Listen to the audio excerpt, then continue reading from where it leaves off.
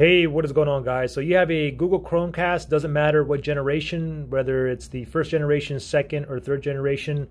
Anyways, you have an issue where basically the your Chromecast is pulsating or blinking orange or red. I'm going to give you several solutions to fix that. So the first thing you want to try is you want to go ahead and unplug your TV. Unplug it just like that.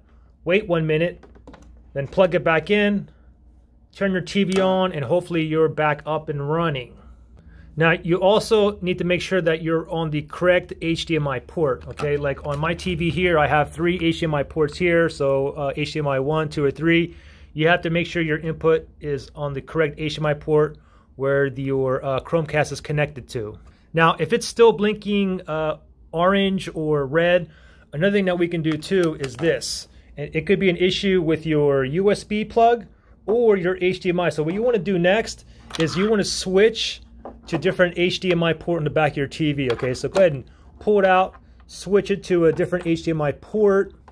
Of course, you want to make sure you have your USB plugged in somewhere to uh, give it power.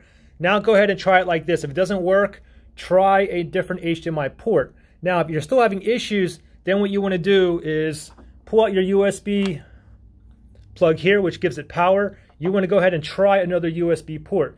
If it's still blinking orange or red, next thing I want you to do is, and you don't have any more uh, USB ports on your uh, TV, what you need to do is go ahead and get an actual adapter, or if you have one of these surge protectors with a USB port, you can try this. Go ahead and plug that in there, and then turn the TV on. Make sure it's on the correct HDMI port for the uh, Google Chromecast see if the blinking orange or uh, red is gone. If it's not, then what you want to do is you want to go ahead and get yourself like an adapter, something like this. Go ahead and plug that in like that and then plug it into an actual wall outlet like this, okay? Now, if it's still not working, then it's possible it could be an issue with your actual adapter.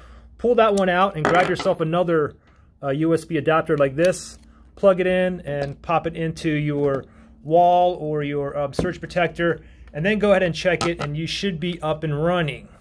Anyways, that should solve uh, most of your problems. Uh, any questions or anything, just comment below. Let me know if this worked for you as well. All right, thanks.